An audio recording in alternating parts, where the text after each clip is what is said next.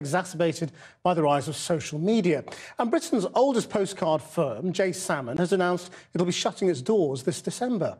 But the art form isn't going down without a fight. A new competition entitled Your Britain on a Postcard was recently judged by the sometime cultural icon and one of the most influential acts in the history of pop music, and much more besides, John Lydon. Fatima Manji went to meet him to get his take on Britain in 2017. Going to the seaside wasn't about the beach, it was really looking at the postcards. I used to love them. And so the prospect of doing a, a competition judging postcards was thrilling. And so here it is. There's a collection of, of, of some of the many that, that was sent in. And, mm.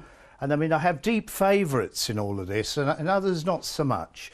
The ones that involve Brexit were mm. of no interest to me at all. Really? It's, it's too political. There were, there were a lot involving Brexit, though. There were a lot. Me, I would have stayed in Europe, but now I move on. I go with the people. I didn't demand a referendum. I got one. And now you got the result of one.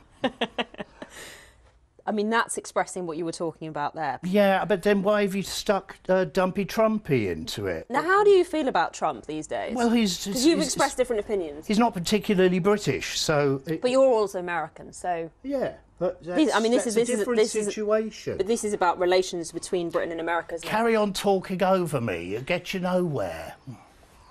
Move on. Well, tell, tell me what you think of Trump these days. It's none of your business. So let's move on, shall we? Oh, no, but I'm just interested because you've said before. Uh, look, please, we're here to discuss British postcards about Britain. All right? But you don't think that Britain and America's Well, when you've worked that out, I'll come back. I'm going to have a sip of coffee. All right. All right? Don't be childish. Hmm. I don't need this first thing in the morning. You know, take no for an answer. Okay. So how about this one here? This this is NHS. I don't like it. I love the National Health Service. It saved one of my brothers and it's about to save another from cancer. So the National Health Service is something I fully, fully support. This one is quite moving. I mean, this is this is all about Grenfell. Uh, this is so sad because there's that ugly scar thing here mm. and this this grimness. Now these poor people, they didn't ask for this this tragedy to happen. Mm. And you've spoken out about working class people being treated badly by yeah. the establishment over the years. Disenfranchised. Do you think it's got worse then? Examples like that don't help, do they? What do you think's gone wrong then in the way that we treat people? We trust politicians and we shouldn't. We never used to. They're talentless leeches and parasites. And so, generally speaking, any time I ever run into a politician, I take great pleasure in dismissing them because I don't think they're here for us. They're there for themselves. Who was the last one you ran into then? Nigel Farage. What did you say to him? I said no to the cup of tea and donut he offered me in the Houses of Parliament. oh, what an ugly scenario as a possibility. I wonder what you think of the Prime Minister.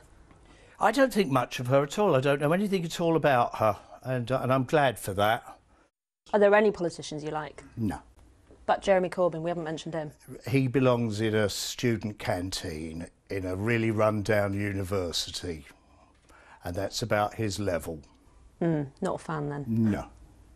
But do you not think that the lack of trust in politicians has got us to where we are now? No.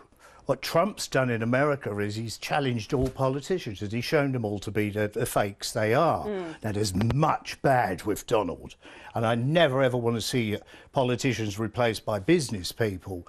But the prospect of now realising and magnifying how, how deeply mistrustful politicians are and, and the motivations that that they use against us. This is this is an interesting thing. This one with the lion, uh, yeah. this is just terrific. The angry lion and then the dog collar so it doesn't bite off its own bandage. Yeah.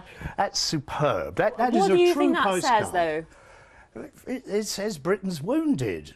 But do you think Britain's wounded? Yeah, of course it is. But it's on the road to recovery so long as he doesn't take off his collar. We're optimistic. oh, always. And what do you think these postcards say about Britain now?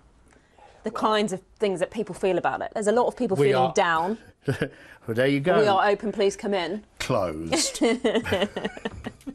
Slightly grumpy John Lydon. Unreported World starts a new series in a moment, but first let's have a look at the weather.